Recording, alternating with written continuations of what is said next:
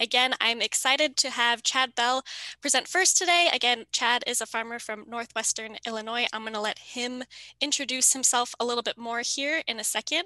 Um, and he's going to be talking about some of his production practices with cover crops as well as some economics. So Chad, are you ready to go?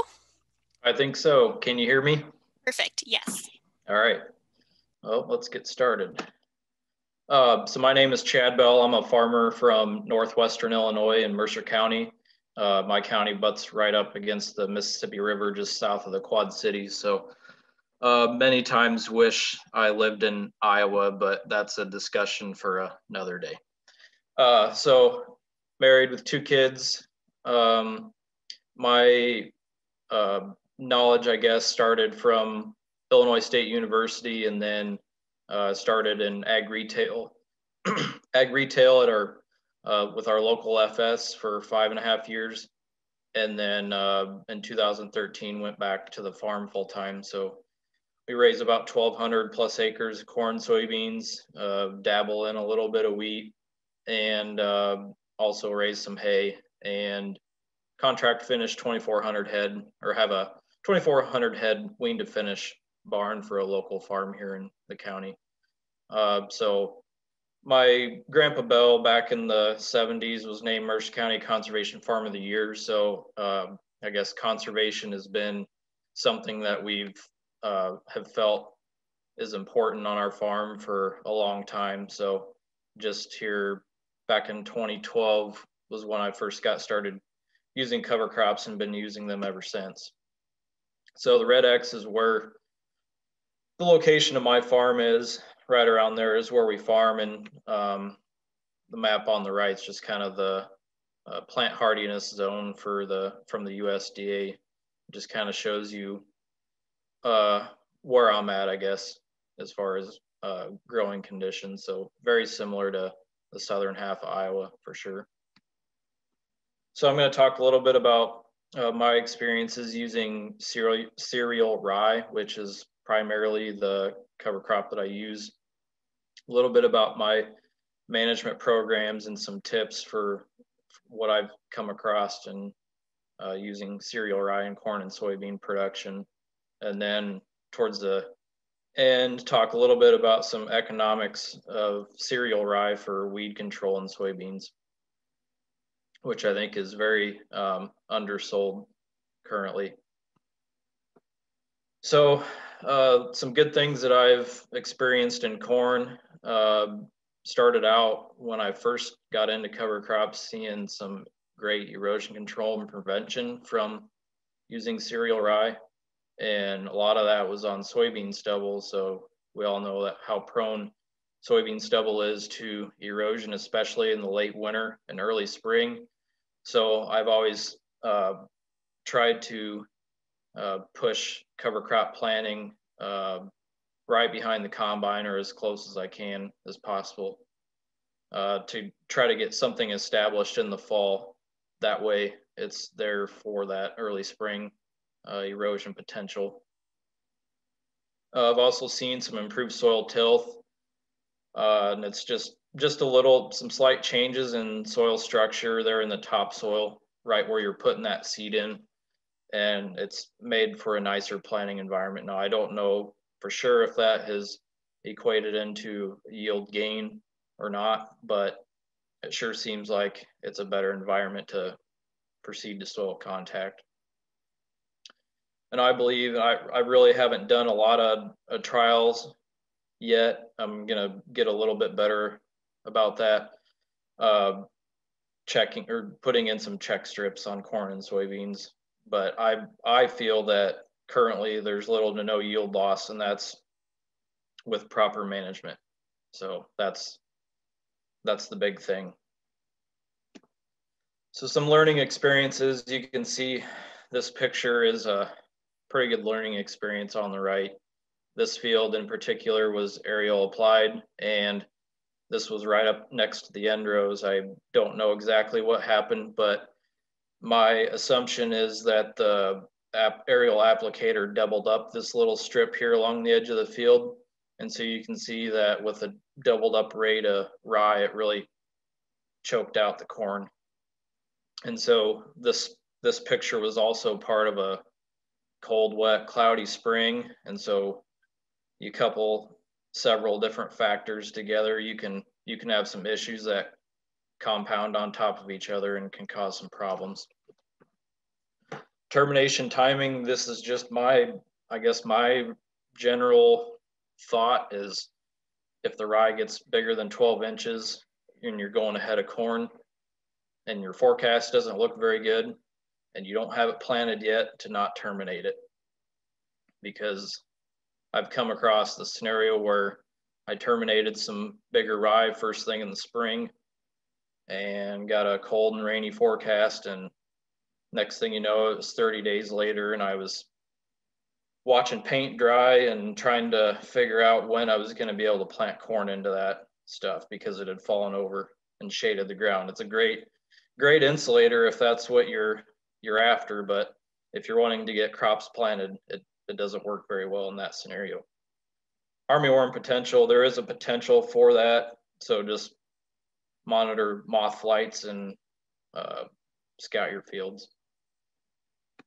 So my current program right now, I'm seeding cereal rye on 15 inch rows on an angle following the combine. I have a white, uh, white planter using wheat discs in that planter to seed the rye. And that works pretty well. Um, so I'm strip tilling my anhydrous in the fall with about 100 units. And then uh, coming back and planting corn on top of those strips in the spring. And I won't talk much about uh, my planter setup. It's pretty basic, really, since uh, we'll be talking more about that later. Uh, and then I spray my pre-emergence and rye burn down all in one pass following the planter and that looks usually like 40 units of nitrogen and five gallons of ammonium thiosulfate and also a full rate of Roundup. But there is antagonism, and that's why I run the full rate. And I still don't have 100% control, but it's uh, usually 85, 90%, which is still adequate, I feel, in my in my situation. And then I follow that up with uh, 46 units of nitrogen as SuperU right around the V4 timeframe. So some management tips that I have for corn, just what I've seen in my uh, nine years is uh, I like lighter or thinner seeding rates, but I also, like I mentioned, I'm trying to get that uh, seeded right behind the combine. And I think the earlier, earlier you can get it seeded, you can get by with a lighter rate just because it's got more time to tiller out before winter time. Um, like I mentioned, I use 15 inch rows. I prefer that over uh, drilling, which we have a drill, but it's only 15 foot versus a 30 foot 15 inch planter. So that's twice as fast. Also broadcast, I've done that and I've ended up with good results, but it also depends on their spread width and I I just prefer 15 inch rows or or getting the seed in the ground as opposed to just slinging it on top. I like to terminate it uh, eight inches or less in the spring, or else uh, plant green. And if you're using just Roundup alone as a standalone pass, you can get by with 32 ounces of Roundup. I know I mentioned 44 ounces ahead of or before, but that was with liquid fertilizer. So antagonism is a real thing with that. And then uh, applying a minimum of 40 pounds uh, pre-emerge. And also consider strip till or biostrip till for a better planting environment. In this picture in particular is a strip till field of mine. You can see that uh, planting strip is clean of residue and clean of rye. So management tips, just some basic a basic program would be just to broadcast or aerial apply, terminate it first thing in the spring, no till your corn and broadcast nitrogen, or a more advanced system uh, mimicking mine a little bit is using a planter to seed it post harvest and then uh, plant green and terminate pre-emerge in the spring, strip till, and use uh, liquid on your planter, which I do not have currently. So some next steps, uh, hydraulic downforce. I'm going to that this spring with a different planter um, just to hopefully ensure better seed to soil contact and consistent planting depth. And for a starter, it's something I'm considering. Haven't made that jump yet. Uh, I'm using more MESZ for the sulfur and zinc. Uh, started seeing some results using more sulfur and zinc. So looking to move more towards that with the dry fertilizer program. And then uh, manure, I think most people that I've talked with that have uh, access to manure, whether it be uh, hog or cattle or able to graze cattle on on their cover crops, the manure is really a, a big game changer. Uh, being able to have that uh, more natural fertilizer on the field. And you can see this picture, there's a distinct line in there. Uh, in the foreground is uh, hog manure ground and in the back did not receive hog manure, but the whole field had cover crop on it. So you can see that distinct line. So there's there's probably a tillage effect with the manure applicator a little bit. I mean, the, the picture looks like it got worked with a finisher or something, but all it had was the manure applicator and a strip till bar run through it. So definitely a big difference there. And it, it did equate into some yield difference there. Not necessarily decided on how I'm going to terminate the spring, but uh, that's a bridge to be crossed, I guess, depending on what spring looks like. Soybeans, easier to manage, I have found, uh, and it's the simplest way to get started in a cover crops, it seems like. Don't need anything fancy for planter setup, uh, termination timing I've found is less critical. Uh, the more seed, you get better better uh, coverage of the ground and more weed suppression.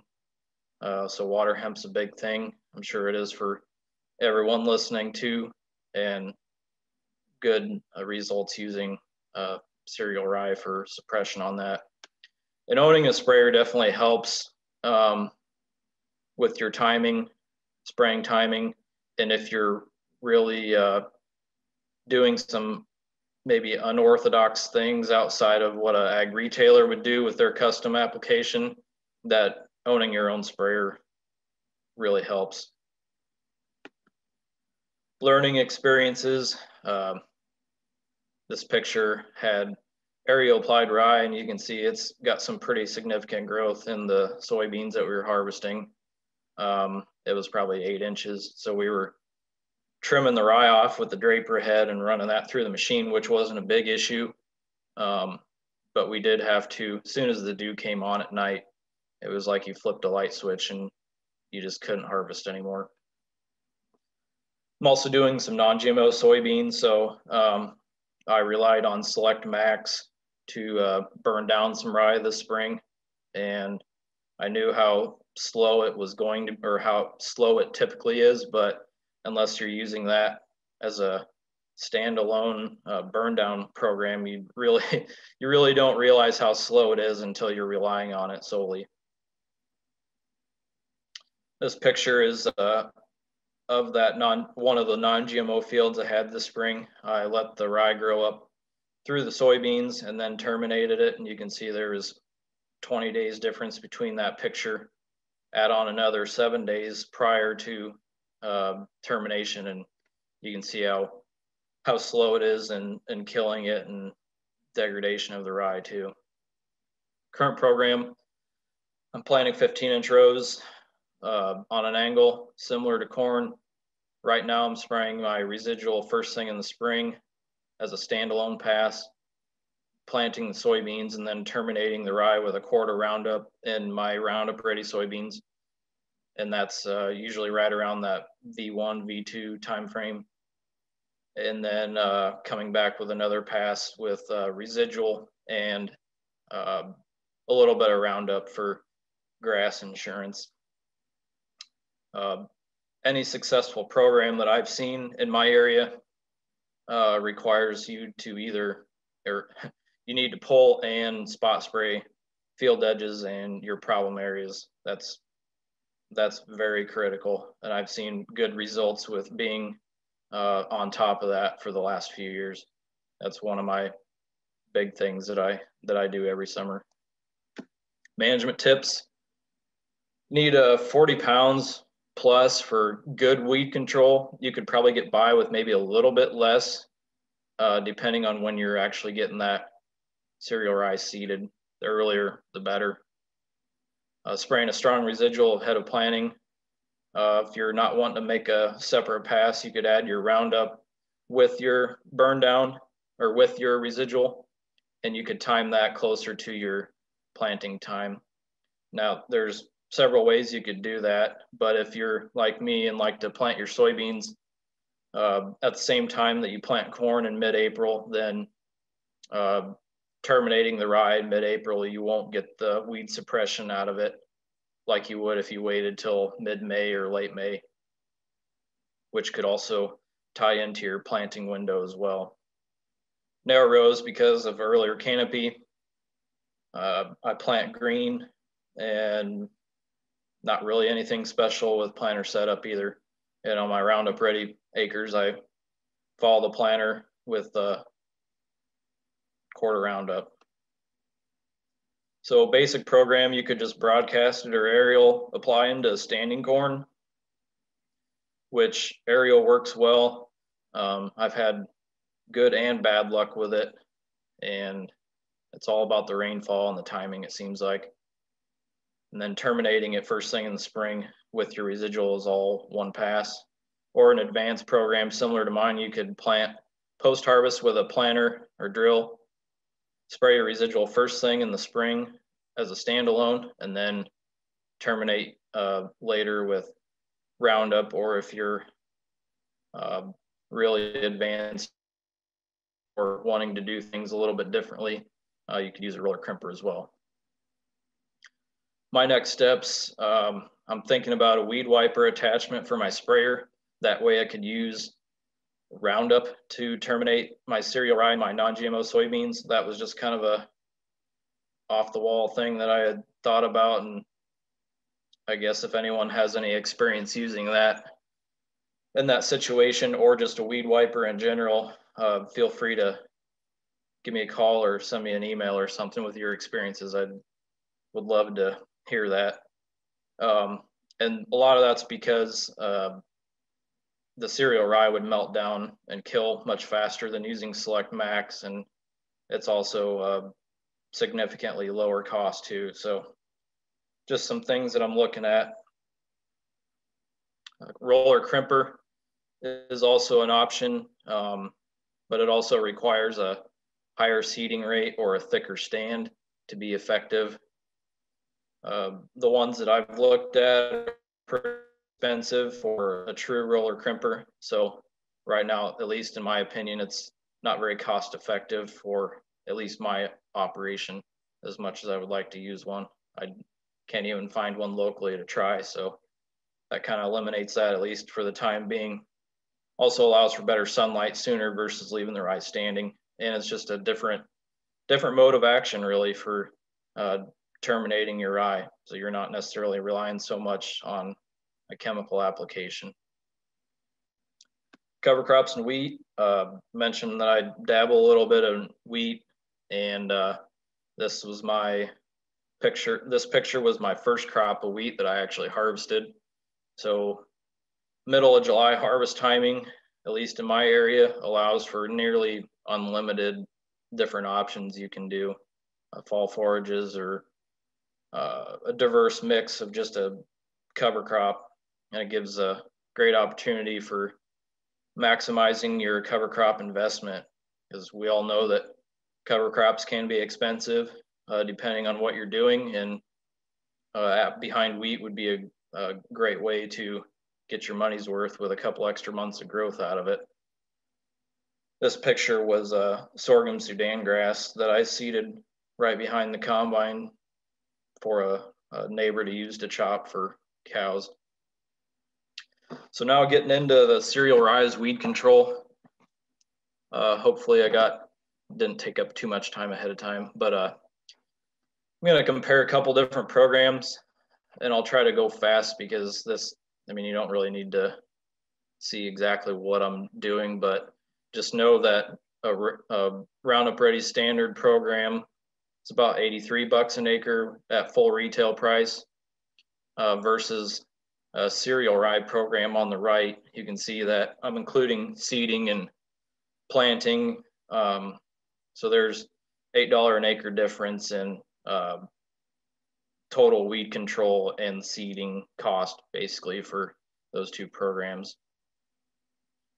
So that $8, eight dollar an acre increase, and uh, that's what it costs basically to include that cover crop into your rotation. Um, at least the state of Illinois right now, the last two years, has offered a five dollar an acre crop insurance discount. And I don't, I'm not familiar with Iowa if there's programs available or what those look like. Also, uh, with Cargill, who I uh, sell most of my soybeans to, they're paying up to $10 an acre for up to 200 acres of cover crop. So between those two different things, plus we're, you know, we're hearing a lot about uh, more uh, carbon payment programs. So between all of those things, you know, you can make a make a pretty good uh, economical case for even just try and cover crops. It really shouldn't, in the end, it really shouldn't uh, cost you money out of pocket to at least try. Plus, NRCS has programs and you name it, really, there's a lot of different ways to uh, get things started. So that $8, you know, it's an increase in cost, but look what it can get you nutrient sequestration, water holding capacity, and one of the best ones is you can get some funny looks from your neighbors and your retailer when you're telling them what you're up to. They, they tell you that they're glad that they don't spray for you sometimes. So here's a non-GMO program. Um, you see between the two programs, there's uh, not really a lot of difference because I'm I'm assuming uh, these are my costs on the right, um, my exact program what I used last year. Um, I didn't have to use the program on the left, so really my costs were a wash versus a standard program. So I should have updated this uh, cost or the uh, soybean price be before this presentation. I didn't do that. So there is some differences there now versus then, but uh, you can see between a standard Roundup Ready program with no cover crop versus a non-GMO soybean program with cover crops, um, there's $13 an acre difference in, in your overall program costs. So you can see on the right, I was assuming 1190 for fall soybeans delivered. Um, non-GMO premium, at least in my area, is a dollar forty. So um, you can see at 60 bushel an acre, that's an additional $84 an acre in revenue. So you take uh, $13 in extra herbicide costs off of that. Plus, at least in my case, my seed cost is 20 bucks an acre less with a non-GMO seed. So I'm looking at an additional $91 in profit potential with non-GMO soybeans, assuming I'm yielding 60 bushel uh, on my Roundup Ready and non-GMO soybeans. So there's, if you have a market locally and feel comfortable using cover crops, um, I don't see a reason not to potentially try that. So with that, thank you for your time and my contact information is on there. So feel free to email me or give me a call with feedback for my presentation or uh, just let me know if you got any questions. Thanks, Chad. That was awesome. Was I good on time? You're great on time. We have plenty of time for questions. So there's a couple that are already in the chat box that I'm going to fire off to you. And then if folks have other questions for Chad right now, feel free to put those into the chat box. But the first one I want to bring up is you mentioned going into corn that you're either trying to terminate your rye early or you're waiting and planting green. And someone asked if you can sort of expound upon the pros and cons of that uh, killing early versus waiting and planting green. Um, killing early pros. Um, you you save yourself potential headache from weather delays and also letting the the cereal rye get big on you.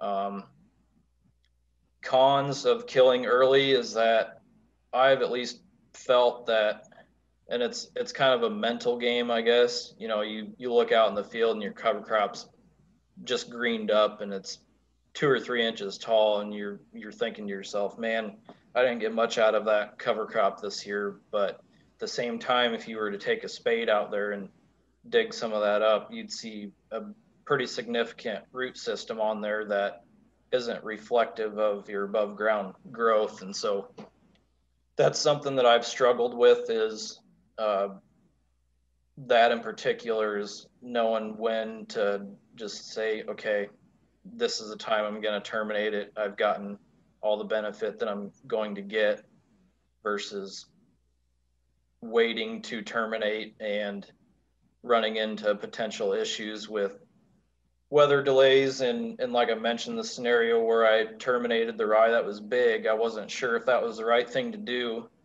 but weather was coming in and it turned out that I probably would have been better off to just let it go and have it help uh, pull some of that moisture out of the ground versus killing it and it shading the ground that definitely will not let moisture come out of the ground so there's there's some pros and cons. I guess it depends on your um, how comfortable you are with the management of it.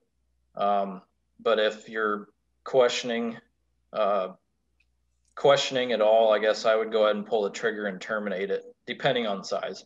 But uh, it's it's a hard decision to make, I guess. Once you once you really get into it and have a passion passion for it, it's it's a difficult decision to make, honestly. Yeah, yeah, definitely. Um, there's also a question here about manure. Um, so you mentioned wanting to incorporate more manure in your system and, and already applying some. So um, can you expound upon how you're applying manure currently? Yeah, currently um, I'm hiring it applied with a drag line with a, a pretty minimal disturbance toolbar. And so um, that's that's how I've been applying it, just custom applied minimum disturbance bar. And that way I'm not having to go back in behind the applicator and work any of the ground down. So it, it roughs it up a little bit, but by springtime it's mellowed it out pretty well. So I don't have don't have anything to any concerns with that. So in the future, um, when you're trying to incorporate more manure, do you think you'll use that same system or is there anything else you'd want to try with um, applying manure? Well, that's probably where I'll see myself at. Um, I do know of a guy in southeastern Iowa, and it seems like more on the Iowa side, it's more popular, but using a, a, a tank to tank it on.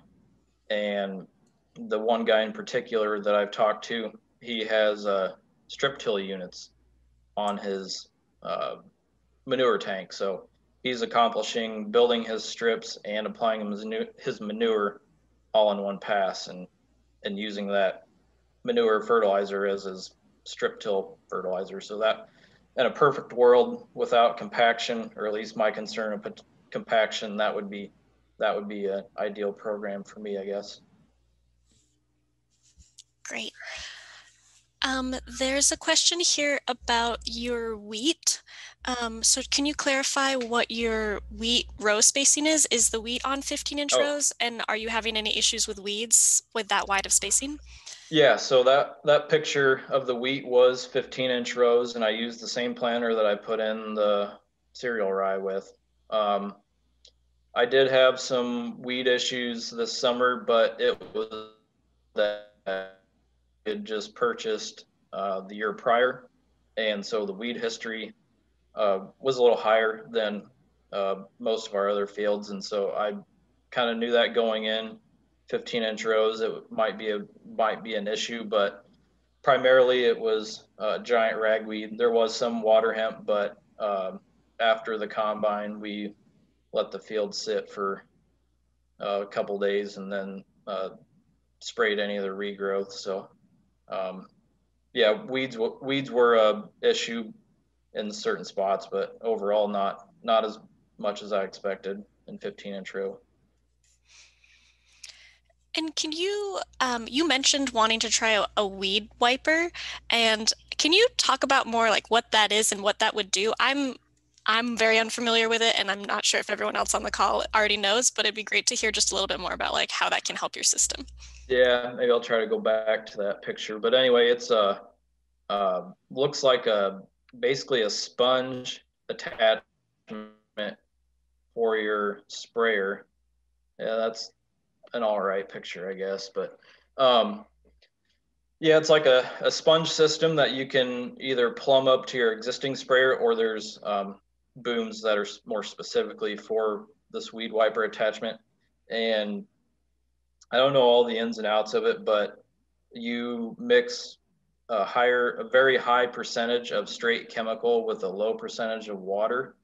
And so it's highly concentrated and basically you just run that um, through the through the weeds that you're trying to kill and that sponge will then leave chemical on that weed and kill it. Uh, so I've, I've heard about them being used in southern Illinois for their higher water hemp pressure in Palmer amaranth as well, uh, using mainly gramoxone at a late stage in soybeans. So I my thought was that this would potentially work considering that at the termination timing that I'm using, my soybeans are just a couple inches tall at the time, and the rye is four, five, six foot tall. So unless my boom's dragging in the ground or something that or the sponge is dripping Roundup off of it or something that it should work for terminating cereal rye. So that's kind of my logic behind uh, using that and a little bit about how I think it works, but I'm not I'm not 100% on it either. Yeah, yeah. And it seems like you would have, like you said in the slide, you'd have cost savings if you did that because you're using on your herbicide. Yeah, especially in my non-GMO soybeans, um, since uh, Select Max is a higher cost uh, chemical, and it's just slower to kill, and and it's only going to kill grass that's out there versus Roundup will kill you know some other broadleaves and other things out there too that it could be a cost savings and um, just work better, I guess, in my situation, but I may be putting too much thought into it as well. I don't know. No, it's good to think about these things. It sounds great, but I don't know if it's practical. Well, Sarah asked in the chat um, if anyone's used one before. Um, Dave's shared that back in the 80s, we used a weed wiper with Roundup on volunteer corn and soybeans, and it worked great. So there's at least one um, anecdotal positive review for you. Um, and then I just have one more question, Chad, and then we'll hand it over to Becca. Um, someone asked if you had any issues with soybean cyst nematode, um, and if so, does the addition of cereal rye help with management of that pest? Uh, so I haven't done any testing for cyst nematode, um, but I do with my soybean seed treatment. I do run uh, the treatment I run does help with cyst nematode, so that's really the extent of my knowledge to it. But like I say, I haven't done any testing, so I don't I don't have anything to go off of as far as if cereal rye has helped with uh, cyst nematode pressure or not. And I don't don't even know if I have it, but um, most most people you talk to say everyone really probably has it. Some just have it worse. Great. Well, thanks, Chad. And I know, Chad, you're going to stick around for the rest of the boot camp, so I appreciate that. And I appreciate you sharing all of your management tips um, and what's worked for you in your system. This has been really helpful. And if folks have other questions for Chad, um, feel free to ask them in the chat box and we can get those back to him um, throughout the rest of the boot camp. So you can stop sharing your screen. Perfect. And then I'm going to hand it over, great, to Rebecca Clay, um, who again is the Strategic Initiatives Agronomy Coordinator at Practical Farmers of Iowa. And um, among many hats, she uh, works a lot with farmers in our cover crop cost share program and does a lot of um, full farm um, cover crop economics, which she's going to share uh, today. So take it away, Becca. Thanks, Lydia. Can you hear me okay? Yes. Okay, excellent. Thank you. Um, well, good morning, everyone, and thanks for joining us for the boot camp today. Um, I'm calling in from Sioux City, Iowa, Northwest Iowa. So, and it's snowing pretty good. So I know at least the farmers around here aren't doing too much field work. I saw a few farmers from Paullina and Cherokee, this area. But um, so as Lydia mentioned, my name is Becca Clay, and I'm the Strategic Initiatives Agronomy Coordinator at Practical Farmers of Iowa.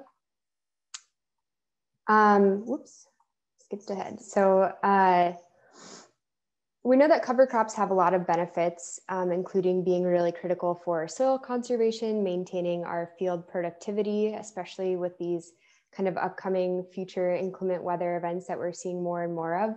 Um, some people are using cover crop for forage, for grazing. Um, and we also know that cover crops are really critical for maintaining good water quality.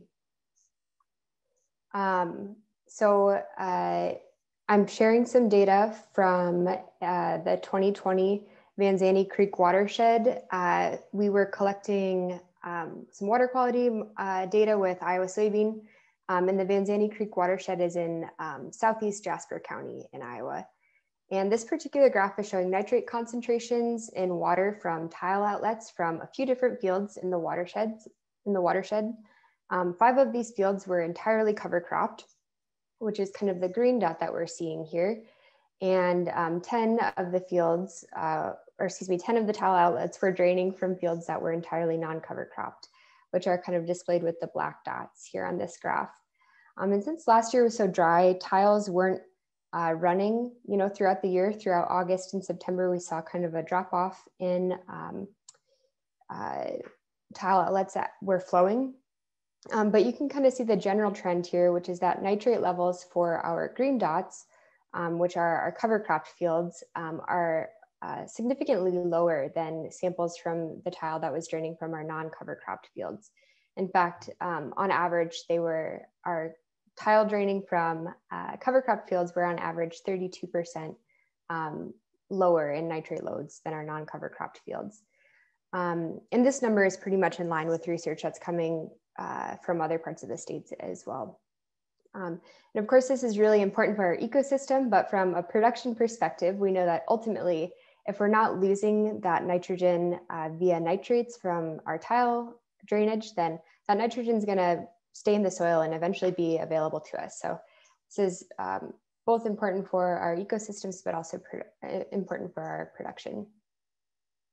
We were also wondering, you know, what does the nutrient loads in the stream uh, that these tile outlets drain into or feed into? Um, and so we monitored stream segments coming from four sub-watersheds with different rates of adoption in of cover crop. Um, we had one that had 0% cover crop. We had another that was 19% cover crop, another that was 36% cover crop, and another that was 62% cover crop coverage. Um, and, you know, Unsurprisingly, uh, the two sub-watersheds with the highest nitrate concentration uh, were the two watersheds with 0% cover crop and 19% cover crop. Um, so that we confirmed again that cover crops are an important tool for water quality. Um, however, you know, water quality is very important, but it doesn't necessarily directly impact our cash flow on any given year. Um, but what can help us cash flow is using cover crops to minimize other production expenses. Um, so today I'm going to be sharing with you some data and some thoughts that farmers have shared with me on how we can reduce weed control expenses with cover crops.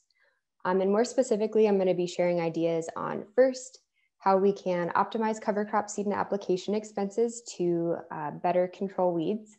And then second, how we can use the cover crop to control weeds and uh, limit herbicide expenses. And I'll be sharing, um, I'll be sharing some data uh, that was collected from PFI's cover crop cost share programs. Um, so in 2020, we had um, several privately funded uh, cover crop cost share programs. um, throughout the Midwest, but the data that I'm going to be sharing today is primarily going to be from Eastern Nebraska, Iowa, and um, Illinois. And so we asked these cost share participants to fill out a survey for us, and we had just shy of 500 people uh, respond to the survey. And these folks were sharing information on cover crop uh, seeds and application expenses, and then also any changes in expenses of their herbicide programs. Um, oops, skipped ahead here. So um, let's go ahead and get to the findings. There is um, a pretty big range in the cover crop seed and application expenses with the least expensive side kind of being closer to the zero here. There is somebody who is only spending $7 an acre on their cover crop seed and application. They were, you know, seeding a lower rate of cereal rye, about 30 pounds per acre, and they were just mixing um, that cereal rye seed into their fall fertilizer um, application, and the co-op happened to not charge them for it. And then on the other end of the spectrum, you know, we had people that were spending upwards of uh, $60 an acre. Um, and these people were typically, you know, hiring their seeding done. Um, these two particular ones that were above 60 um, had a, a custom uh, drilling operator come out. Um, and they were uh, both seeding a pretty heavy rate of uh, a cocktail mix. So it's going to be a little bit more expensive. But on average, people were spending, you know, uh, somewhere in the 25 to $30 range an acre. Um, and what I'm not going to do today is say that we all need to be kind of on the, the left hand of this graph, that we shouldn't be spending any money on our cover crop seed application or minimizing it. Um, rather, I just want to be sharing some of the things that I observed in the data set on how farmers that we work with, that we work with are controlling costs um, while still meeting their production goals and their weed suppression goals. Okay, so let's talk about seed costs. Um, most people were spending kind of in the 750 to $15 an acre range on seed, and the average cost was 13.21. Um, and today we're going to be talking about, you know, weed suppression specifically. So I included a couple bullet points on just things that we want to consider when purchasing seed for uh, weed suppression.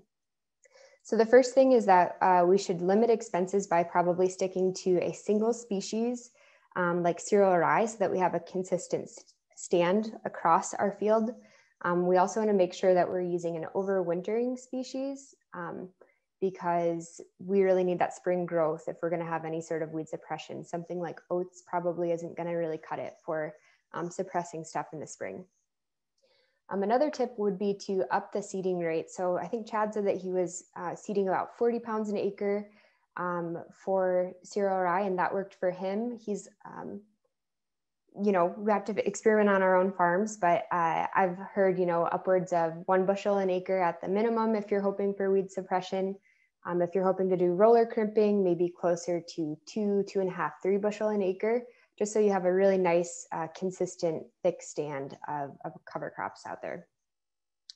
Um, another tip would be to opt for smaller seeded varieties. For rye, Elbon's um, one of the smaller seeded variety, and so you know, if you're buying uh, cover crop by the pound or by the bushel, um, you're going to have more seeds per pound or per bushel if you're um, purchasing a smaller seeded variety such as Elbon.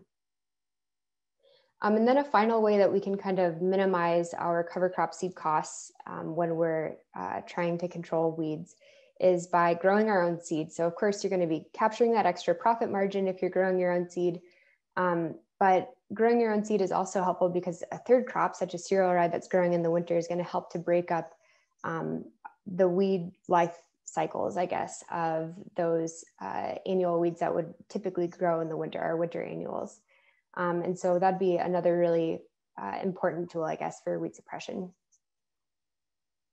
Next, let's go over some cover crop application considerations for uh, weed control. Um, again, uh, there's a pretty big range in how much people were spending on application, but um, average application was around 1350 an acre.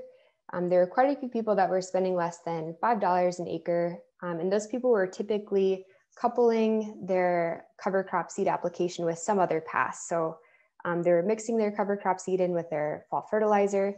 Um, they were uh, mounting an air seeder onto their vertical tillage implement.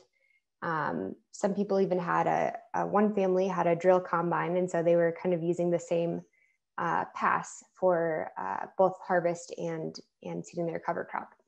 But again, if we're going to be going for weed suppression, um, having a nice uh, consistent stand is going to be important. And so I would kind of urge us to think more about um, either drilling or using a method like ground over seeding with a high boy, um, which is going to be helpful for both precision and early growth. Um, something like aerially seeding with an airplane is going to kind of leave some spots. It doesn't necessarily have to if you've got a good uh, pilot, maybe they can cover the entire field consistently, but typically there are often gaps. And I just want to remind us that these ideas that I'm sharing for seed and application costs um, are if our primary goal is weed suppression. But you know, on your farm, you might have a very different goal of you want to have grazing, or um, you know, you want to fix nitrogen, or maybe just soil health, water quality in general. And so I just urge all of us to um, you know think about what our farm specific goals with cover crops are, and then kind of uh, adjust your seed and application plan according to your specific goals.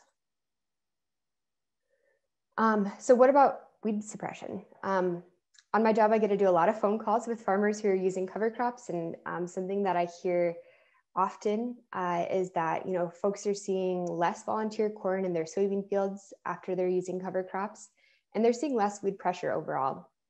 And more specifically, people have been reporting less weed pressure on some of the species which are developing resistance to our current herbicide modes of action. You know, our herbicide resistant weeds like water hemp, mare's tail, giant ragweed, etc. Um, and so cover crops are going to be a really important tool for controlling these weeds as our um, chemistries kind of lose efficacy and, you know, of course, we are hopeful that there are going to be new chemistries developed that are going to help to control these herbicide resistant weeds, but um, it's likely that eventually we'll see a little bit of tolerance to these new chemistries as well. And so, you know, cover crops are going to be a really critical tool for, for controlling weeds. And so we asked those 500 or so farmers who are in the cost share program, you know, what have you been observing with cover crops and weed suppression? My mouse is glitchy today. I'm slipping forward. Um, and so we asked them, have you observed changes to weed pressure since you began using cover crops? And a handful of people said that they've observed increased weed pressure. Um, this could be, you know, maybe weed seed that was coming in with the cover crop seed, or it could just be um, increased weed pressure in general in their fields. We don't exactly know why those people were seeing increased weed pressure. Um, about 40% of people said that no, they're seeing the same amount of weed pressure. And then nearly 60% of people said that they were seeing uh, decreased weed pressure. And just because you know our respondent said it was true doesn't mean that this is fact. Um, but the farmers that I work with are pretty observant people, so I think we can probably trust that weed pressure um, has been decreasing on their field since they began using cover crops. Um, and this is again going to be really important for long-term productivity, but um, our annual budgets aren't necessarily looking at our long-term weed seed bank. And so when we're thinking about farm financials, we are typically thinking in a calendar year or growing season. Um, and so we wanted to know how people were changing their herbicide expenses with cover crops, so their herbicide expenses specifically. Um, and we've heard of people that are doing this successfully. For instance, um, Sam Bennett, who is a fellow Northwest Iowan uh, from Galva, Iowa, has been using cover crops to reduce his herbicide expenses in soybean production. Um, I've shared this slide many times. You've probably already heard about Sam's experiments, but he conducted a trial with PFI's Cooperators program um, with randomized replicated strips of two treatments. Um, one, he had just his uh, typical herbicide program, and then uh, the the other treatment, I guess, was uh, leaving out a residual herbicide product um, in some strips on the same field. And, um, you know, he left out the, the residual herbicide product um, and he saw no negative yield impact. So same yield um, with the residual herbicide and without. And so, um, you know, he saved $16 an acre by doing that, which is going to help to start kind of cut into our seed and application costs. And we wondered, you know, are other people doing this as well? Is this just a rogue farmer who is cutting herbicide expenses or, you know, do we have other folks who are doing this as well? And um, I guess I would be curious to hear from, from you guys. Um, let's try to make this a little bit interactive, even though we're virtual. Um, why don't you go ahead and open up the comment box or excuse me, the chat box, and then you can share, you know, are you reducing herbicide um, expenses? Are you like minimizing passes or cutting back on product? And if so, how are you doing that? Because, you know, I've got a couple examples, but um, I'd really love to hear from you, from you people as well. So um, anyway, so for reduced herbicide expenses cover crop compared to the non-cover crop, which include, includes the herbicide products and passes, um, about 22% of people were reducing herbicide costs with cover crops. So Sam's not alone in this. Um, nearly a fifth of, of the farmers who were cover cropping their soybean farmers, or excuse me, that were cover cropping their soybean fields um, were reducing herbicide expenses, either the herbicide product or the passes to soybeans with cover crops. And on average, they were saving about 1350 an acre. So kind of similar to Sam's savings. And, um, you know, again, that's kind of help us to kind of cut back into those upfront costs of, of seed application. And then we asked the same question for cover cropped versus non-cover cropped corn. And we found that about 10% of people uh, were reducing herbicide expenses with cover crops um, in their corn. And the average saving was a little bit less. It was closer to about 1050 an acre. And so if we want to be saving herbicide expenses, you know, what is it that we need to be doing? You know, you probably can't just like blindly cut things out. Um, and I think what we should start with is uh, the most simple system is just cereal rye ahead of soybean because soybeans tend to be a little bit more forgiving and rye with its aggressive spring growth is going to give us a really nice uh, weed suppressing mulch. Um, and our weed suppression plan really starts in the fall. So again, we've already kind of touched on this, but seeding a really uniform stand, um, probably drilling or overseeding. Um, I've heard mixed results about uh, seeding with your fall fertilizer. Some people say that it gives them a consistent enough stand for weed suppression. Some people say that it's kind of gappy. Um, but again, probably avoiding uh, aerial application with, with an airplane.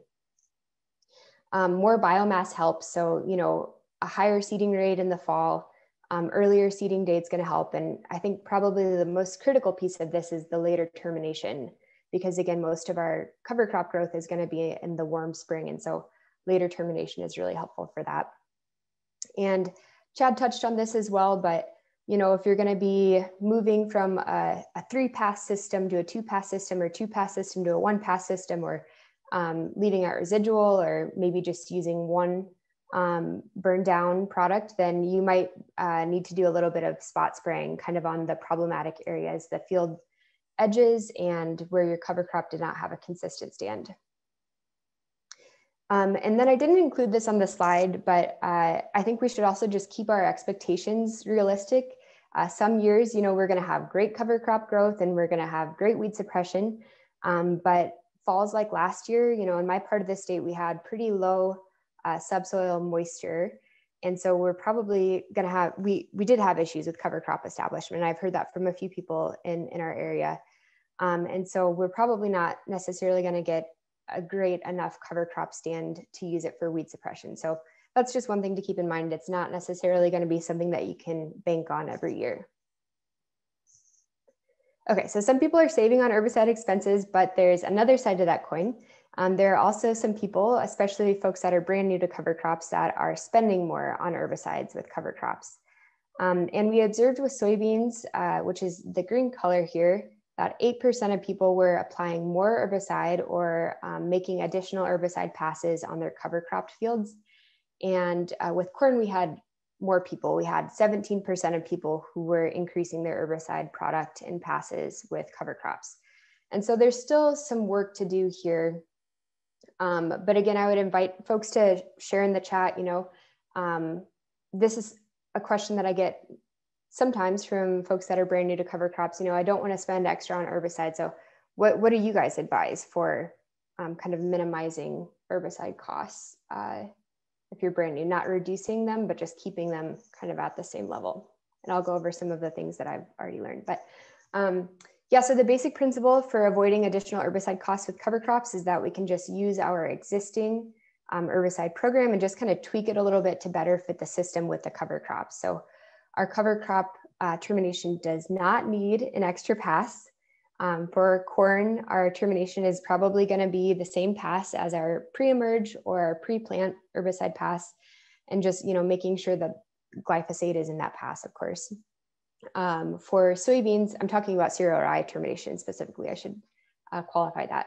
For soybeans, our cover crop termination might be in our post-emerge pass, um, or some people will even terminate right after planting. But for both of these, we don't need to be um, using additional products or passes. But to avoid any hiccups, we really need to keep in mind uh, some of the same best practices that we're using for, you know, weed management. It's cover crop. If you let it go too long, it's just a weed. So, um, you know, we should be spraying on warm, sunny days when nighttime temperatures aren't too cool um, ideally in the afternoon when the rye is actively growing and uptaking that herbicide product, metabolizing it, and eventually, you know, it'll die. Um, we want to use a typical burn down rate of glyphosate for CRI. So, you know, one pound acid equivalent per acre glyphosate. Um, that's, uh, Chad said 32 ounces of, of Roundup. Um, you know, if you're not using Roundup, if you're using a different brand, brand name, just make sure that you've got at least one pound acid equivalent there. And then a last tip, and this is one that people kind of forget about, especially folks that are brand new to cover crops, is that we should probably avoid using a carrier of greater than 15 gallons an acre um, because that can kind of overly dilute our herbicide product and cause our um, cover crop to not uh, effectively uptake it. And then finally, I also forgot to include this on the slide, it looks like, but um, some people have had success with adding AMS to the mix. They say that the cover crop um, uptakes the herbicide better if, if there's some AMS in the mix. Okay, so if we stack the cover crop seed and application costs with the changes to herbicide expenses, what does our partial budget look like? Um, and this graph is for soybeans. So cover crop partial budget going to soybeans as a function of reduced equivalent or added herbicide expenses. Um, and the green curve here is uh, showing the distribution of people who are cutting herbicide costs with cover crops.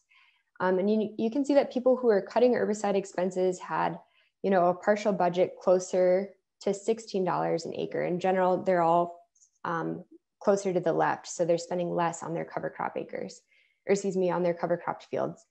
Um, and there are quite a few people that were kind of under, you know, the $10 line, which is maybe about right here.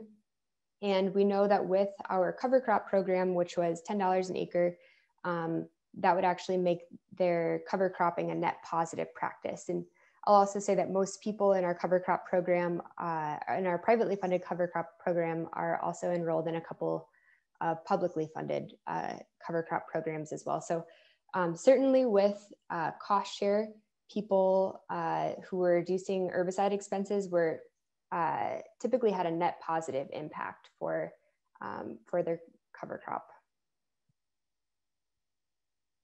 Okay, so wrapping up here, just a couple of take home messages on optimizing um, our cover crops for weed suppression. Um, we should establish clear cover crop goals, know exactly what we're trying to accomplish, whether that's for grazing or weed suppression or, or both. Um, and then we should consider how we can optimize seed and application expenses. So not necessarily always going for the cheapest option. Sometimes we'll spend a little bit more, but get additional benefit.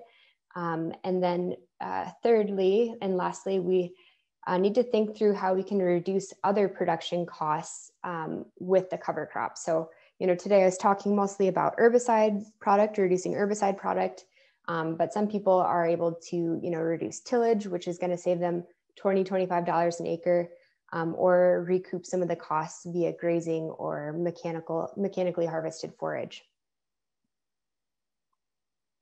And then lastly, I just want to say thanks to uh, the folks on the PFI team who uh, were critical in, in, putting this together. So Lydia, uh, who is facilitating today, uh, put together most of the data visuals for us.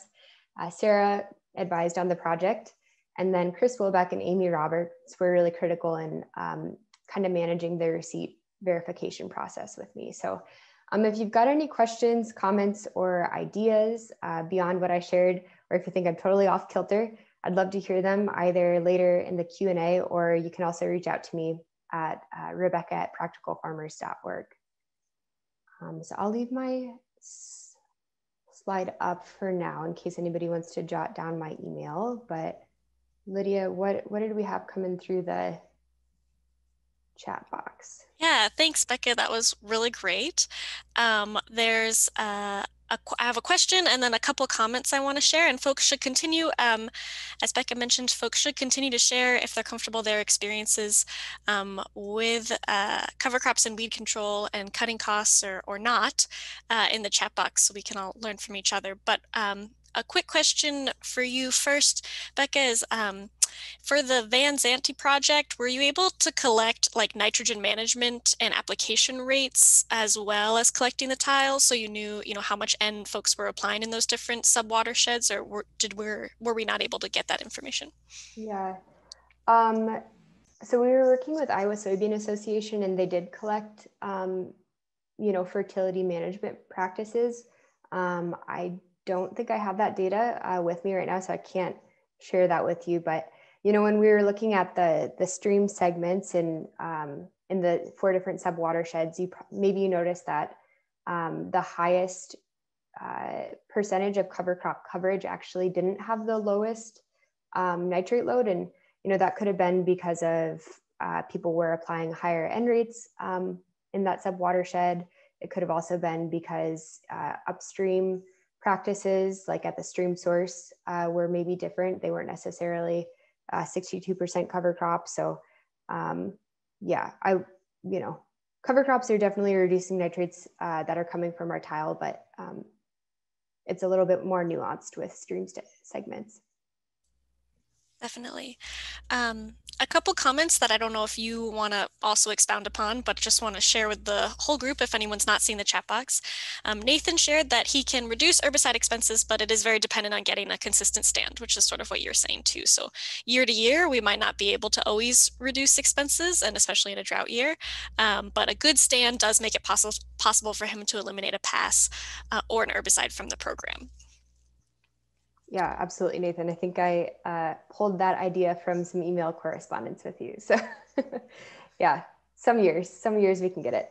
But and then Emery shared that last spring the, um, we sprayed a burn down to kill rye, and uh, about half the soybean acres needed a second pass, but the other half had enough rye to suppress weeds. And scouting was definitely important to figuring out where they needed to apply more. Awesome, Emery. Yeah. I think you know that's kind of the the gold standard is kind of moving to uh, a one pass system. It's going to save us quite a bit, um, and so it's great that your field happened to kind of work out that it was like half and half that uh, that you um, only had to apply on on or do a second pass on on half of the field. But um, yeah, I think it takes a little bit more labor, um, but if you've got the time to do scouting um, then you can probably save some money with it. So kind of is going to depend on, on what your farm system is. And two other comments I want to just briefly share. One from Dave that he basically switched to a no-till concurrently with starting using cover crops. So as you mentioned at the end here, you know, he's spending more on herbicides, but saving on tillage costs. So in the end, you know, it, it might actually be the same or, or more saving money because of, of that expense. Great. And the last one is also from Nathan. I'm not sure if you have a comment on this, but he mentioned that corn residual herbicides that are labeled to allow cover crop establishment later in the year or grazing especially are often more expensive than commonly used corn residual herbicides that aren't as comparable with cover crops. Um, mm. Do you have you heard that um, from other growers as well, or is that something you've noticed? Or no, yeah, that's the first that I've heard of that, Nathan, and I'd love for you to kind of expand on that a little bit more when you do your presentation. Um, but yeah, that is also something that I didn't mention, I guess, in uh, in the presentation is uh, not all, some cover crops are really sensitive to um, herbicides that we would have applied for our cash crop production. And so that's one thing to consider as well. Um, when you're thinking about your herbicide program is, you know, how does this fit with my cover crop uh, establishment? Um, if it costs more money, yeah, I, uh, I hadn't heard that, but I'd love to hear a little bit more about that later on. So um, anyway, I will wrap it up. I think I'm a little bit over time, but uh, uh, thanks everyone. And I'm looking forward to hearing from Nathan and, and Keaton later on here.